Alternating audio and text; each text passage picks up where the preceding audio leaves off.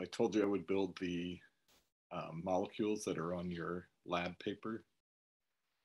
In these molecule kits that we have, you'll see all different kinds of colors and sticks for bonds. The ones that we were sticking with were carbon is always represented with black because the black balls have four holes drilled into them for four bonds. The oxygens are red. They have two of the holes drilled into them because they make two bonds. And then the hydrogens are white. They only have one hole drilled into them because they can only make one bond. And then the two different bonds, we have longer sticks for the bigger atoms because their bonds are longer. And then we have shorter ones for shorter bonds. They go with mostly just the hydrogens because that's a small atom. So the bond length is smaller. So in your packet, it's telling you to construct a water molecule is one of them. So water is H2O. So you're going to take red to represent the oxygen, and we're going to take two of the hydrogens, which are represented by whites. We're going to put those together. And since it's hydrogen bonds, we're going to use the smaller ones.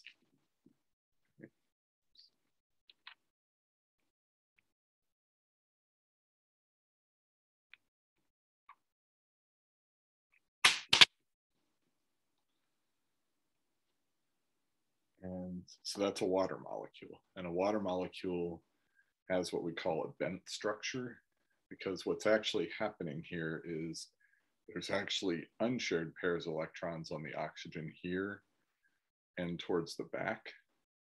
And since electrons all repel each other, they push each other apart.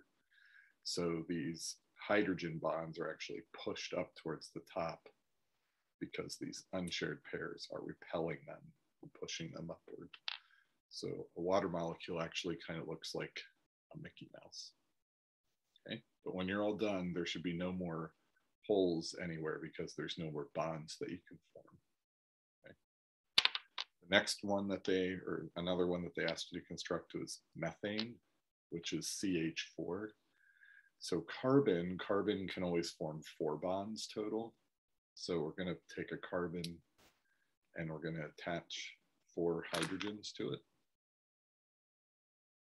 And again, we're going to use these shorter steps here.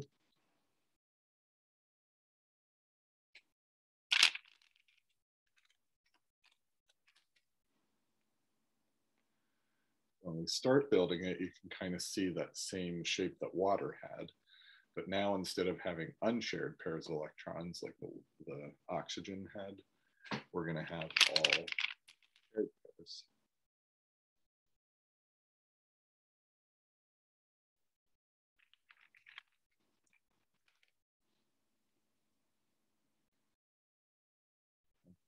So when carbon forms four single bonds, it actually forms what we call a tetrahedral shape. So you can kind of see that it has a triangle on each side. The three hydrogens make like a triangular shape on all four sides. And that's called a tetrahedron. So these bond angles, the reason we like to build these three dimensionally, you can see that it's actually more than 90 degrees because when they spread out, they have enough space. They're actually 109.5 degree angles. But when we draw them on paper, since it's flat and two dimensional, it looks like they should be 90 degree angles, but they're not because they can spread out further three dimensional. And then the last one on the front page that they're asking to build was ethane. Is made up of two carbons put together, and then the carbons are surrounded by hydrogens put the two carbons together, we're going to use a longer bond. Okay. But when we attach the hydrogens, we're going to use those shorter bonds. Again. Basically, what this is just going to look like is you're going to keep that tetrahedral shape It's like two tetrahedrons hooked together.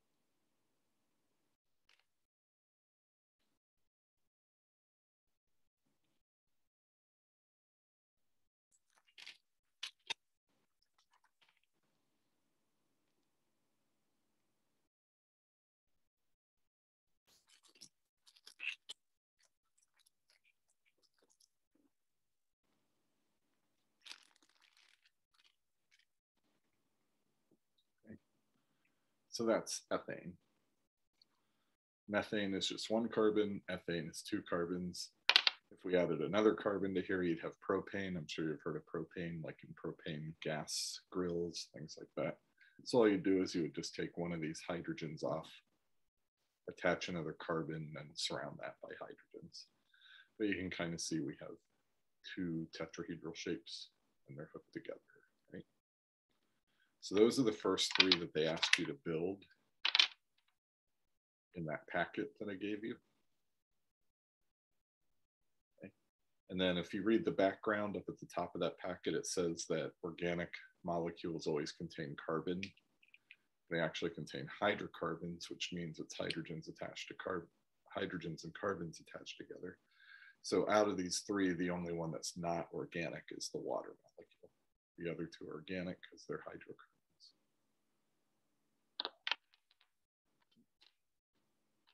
The next thing you want to look at is the glucose molecule, and that's a little bit more complicated. It's a ring structure, has six total carbons. There's five carbons in the ring, and then oxygen closes the ring. And then you have another carbon sticking up. And then every other carbon in the ring has an oxygen attached to a hydrogen, and then also a hydrogen group attached to the carbon. So I'm going to put you on pause here. I'm going to build that and then I will come back. Okay, so I started to make the glucose molecule here, but I wanted to kind of point out how we're doing this. So we have this ring structure that has five carbons. And then the five carbons, it's, we're closing the ring with the oxygen. And then what I'm gonna do, the sixth carbon is just gonna come off up here.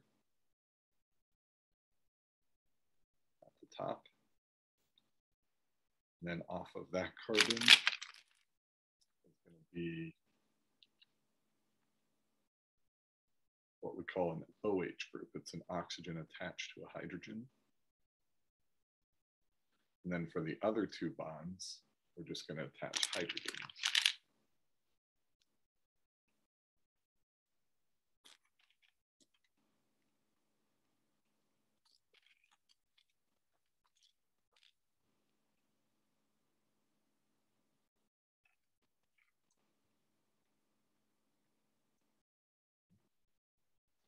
Ring. And then this is the only place that another carbon is going to come off of with our OH group and our two hydrogens. And then we also need, this carbon only has three of its four bonds. So we're going to need another hydrogen on there. And then on each of these other carbons, it's going to be similar to this. We're just going to put another OH group. And then they'll only need one hydrogen because they're already attached to two other carbons. So again, I'm going to put you on pause and I'll attach all those so you don't have to watch me draw that in.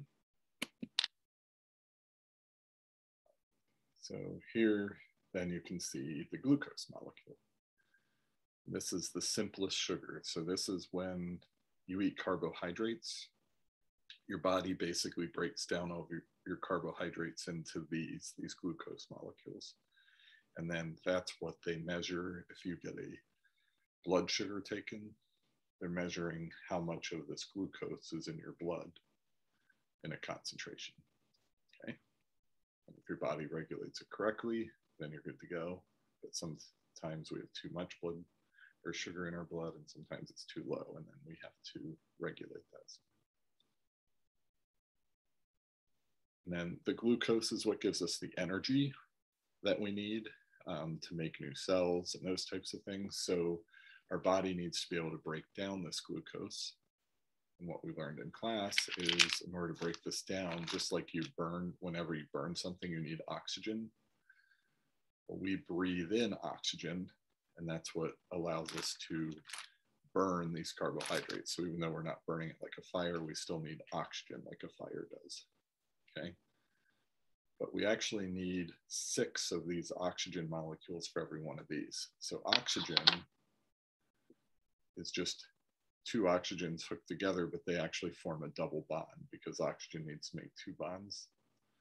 So it starts off, the two oxygens come together, but then they each still need one more bond. So we use another stick and we just make a double bond. So this is what you breathe is an oxygen. It's just two oxygens hooked together with a double bond.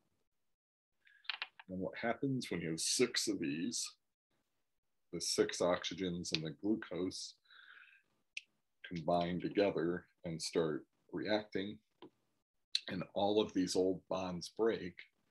And what you'll see in here is you have a bunch of carbons, oxygens, and hydrogens that all break apart. And what they end up forming then, these are your reactants because that's what's reacting together. And then when they go together, the six oxygens kind of swarm in and attack the glucose and they fight and they break each other's bonds. They come back together and what we breathe out is carbon dioxide and we breathe out water as well. And we already built water before, okay, but we didn't build the carbon dioxide. So let me just show you what carbon dioxide looks like.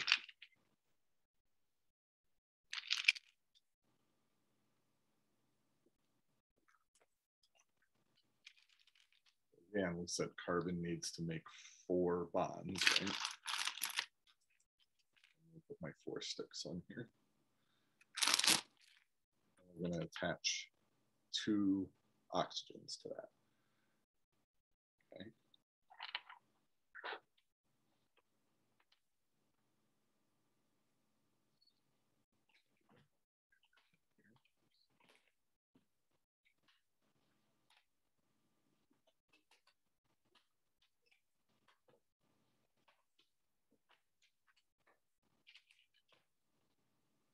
I attach another oxygen,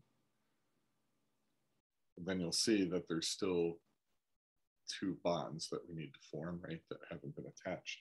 So just like the oxygen molecule needed a double bond, when we make carbon dioxide, we actually need two double bonds.